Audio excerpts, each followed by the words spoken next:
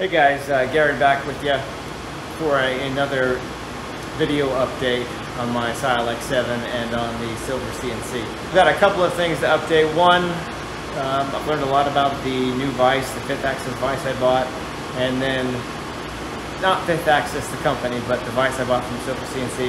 And then the other update is about my beloved M-Lock dual station 125 millimeter vise um, I, made a little adapter plate so that I can, so we can play too on this Silver CNC subplate. So let's take a look. So I went ahead and made um, a little adapter plate that converts the, well it ties in with the existing uh, 52 millimeter uh, retention knob capability of this vise and it ties it into the 96 millimeter uh, hole spacing of the of the service place plate.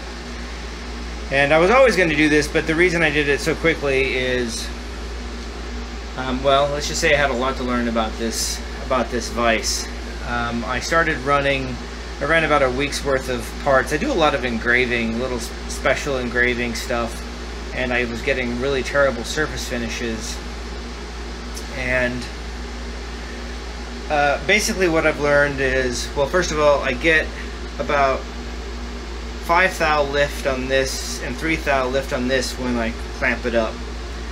Um, it, that is repeatable, but then how it clamps in here isn't repeatable. Um, well, I'm not confident doing second ops on this. It's good for first ops. It's it's aggressive. You know, it's it's good for what it is, but it's definitely not um, like this vise where this is where this has a fixed jaw. It doesn't have fixed jaw. Um, as such, there's no offsetting parts. Even a slightly offset part is going to lead to racking. I know you're not supposed to, to rack a vise. Um, so, you know, I do, some of my jobs do require a little bit of an offset. Um, which this does a lot better with. And then I've got, you know, a, a couple other um, more heavy duty vices for offset work, but I digress. Um, another thing with this vise is when I th these these vice jaws aren't parallel with each other in this relaxed position.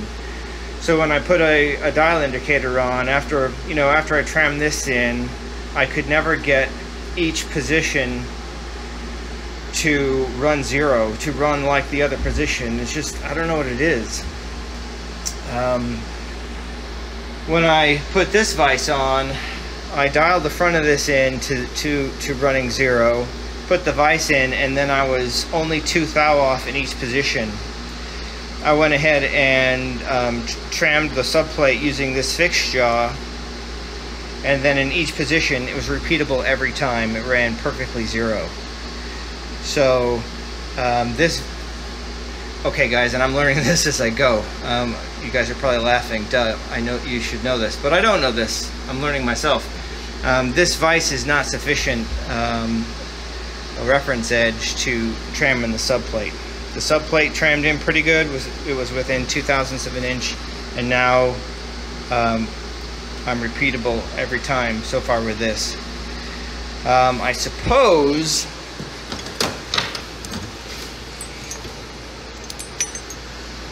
I suppose a good test would be to put in to convert this to the dual station and then and then indicate off this and see if I'm still zero that would be good to test. And um, when I do run dual station um, operations, I'll do that.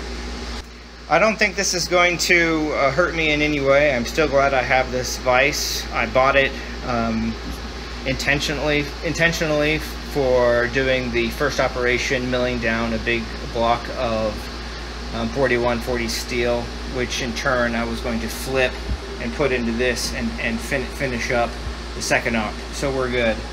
And now I have the added functionality of having my um, M-Lock vise. I have really enjoyed this. I feel so bad for this fixed jaw, but you know what? It keeps trucking. It doesn't matter. It's still running as great, good as the day I, day I bought it, um, regardless of the paint job. So, a little bit about this plate. So, uh, this plate, I bought I bought the steel from McMaster-Carr. It's, uh, I believe it's six inches. It was a six inch stock okay? And I bought it precision ground. Um, the job was really easy, just two ups. Most of the most of the work was done on this underside. Okay, the top side, I didn't do anything to the top except after the fact. I stoned both sides really really well. Um, but the first op, op was to put in this contour and the, um, put in these little chamfers and then this final chamfer. Um, I went down two millimeters for that. Okay. I wanted it to be long enough to support this whole vise. This is a lightweight vise and having this attached to it and the, the weight of the mass and weight of this is only going to add to, I think, the vice's rigidity and the quality of the parts that I'm going to be able to mill. So I'm happy. It is a little heavy, but you'll notice on the back side, and I'll go ahead and flip it over here and we can, you'll notice on the back side I've, I've done done some work to uh, take some weight off. Let me flip it over and I'll run you through what I did on the back side. You may have noticed here I've got these I've got these stationed here. Um, I bought this one new. I had this one.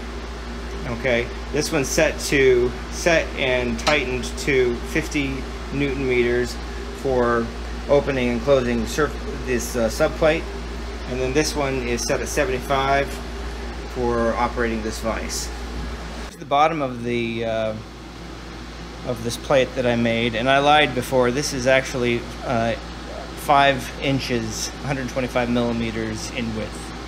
Okay, and then I bought a foot long. Ended up chopping it off on my horizontal bandsaw, and then, you know, milled it. Started milling it. Uh, cut it off at 228 millimeters. So here's what I got. I ran it like this in the M-lock, in the style. Um, I did boring operations to, you know, I, I uh, did boring operations to open up the space to allow these retention knobs and they interface with a 10 millimeter thread.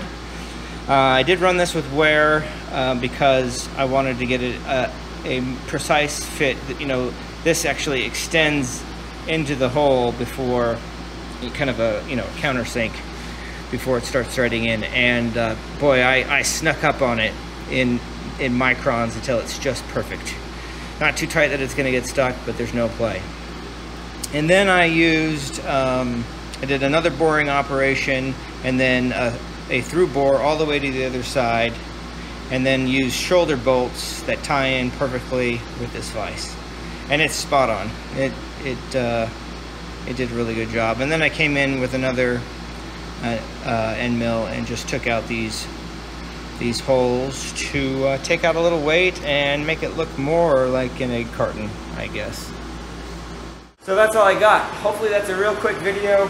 I know none of us have time nowadays to watch long, long format videos, but uh, it was a fun little project to do, and I'm really excited about having uh, my M-LOK vise set up on, on the mill. It, is, uh, it has been a real treat to use that vise. I've used a lot of Kurts in the past, um, manual and precision, and I've used this M-LOK, and now this weird little vise I bought from Silver CNC that I'm still trying to figure out. So, thanks for tuning in. Catch you later.